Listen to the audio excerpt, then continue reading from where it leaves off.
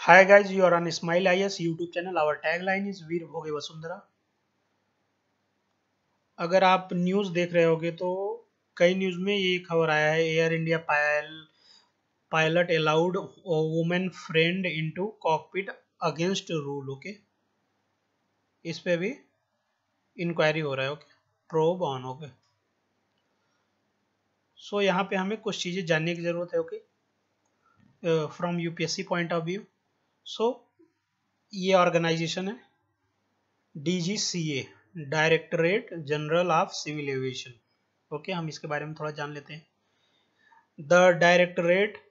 general of civil aviation said on Friday that it was conducting an inquiry into the matter and would examine the relevant facts the official said that the pilot's action were not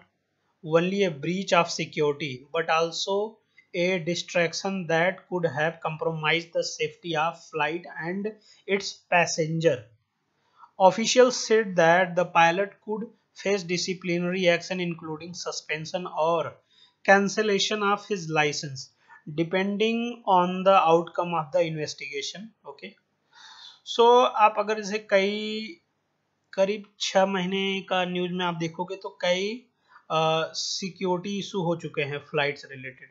किसी में आ, कोई single जैसे double engine है तो कोई एक engine fail हो गया है या किसी ने फ़ोन करके बोल दिया है कि आ, उसमें बॉम्ब है उस उस फ़्लाइट में ओके और या अभी कुछ महीने पहले आपने टॉयलेट वाला भी न्यूज़ में था जो किसी पैसेंजर ने दूसरे पैसेंजर के ऊपर टॉयलेट कर दिया था। तो ये सब पे ढेर सारी इश्यूज़ आ रहे हैं ओके सो so, अब थोड़ा सा हम इसके बारे में और डिटेल जान लेते हैं।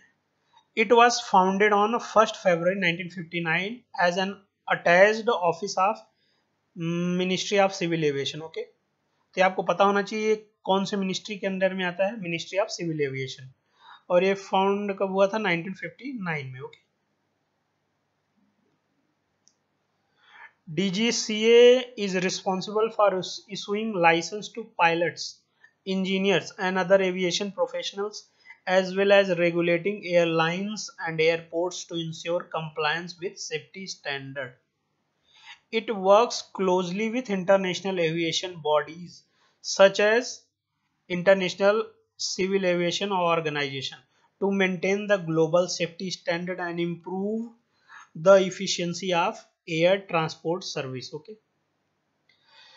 the, directorate general of civil aviation is the national regulatory body responsible for regulation and oversight of civil aviation in the country. It ensures the safety security and efficiency of civil aviation uh, operation in the country. Dgca develops and enforces regulation standards procedures relating to airworthiness, flight operation, air traffic control, uh, license of personnel and other aspect of civil aviation. The DGCA also work with airline, airport and other stakeholder in the aviation industry to promote the growth and development of civil aviation in the country. It conducts inspection, audit and investigation to ensure compliance with the regulation and standard and takes enforcement action when necessary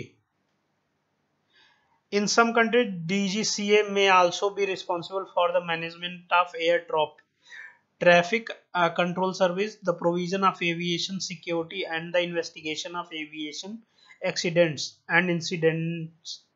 the specific responsibility of D G C A may vary depending on the country and its regulatory framework कुल मोटा मोटा आप ये समझ सकते हो जितना ज, सारा काम है सिविल एविएशन से रिलेटेड ओके चाहे वो एयर ट्राफिक हो